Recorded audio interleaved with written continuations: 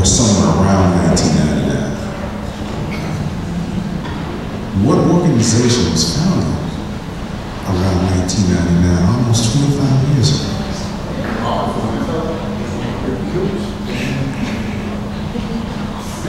I don't know. Uh, you got to speak up. 50 hoops. 50 hoops. Wow. 50 hoops was founded 25 years ago. Before this issue of disparity, before a lot of people jumped on the bandwagon saying we're going to try to hold black folks, it was 50 hoops visionaries who are here today in path. Can we give them a hand?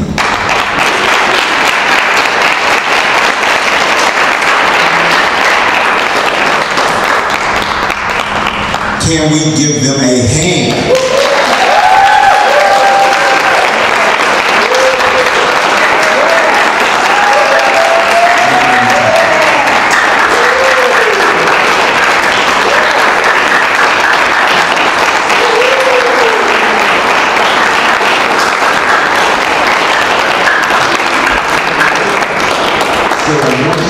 I want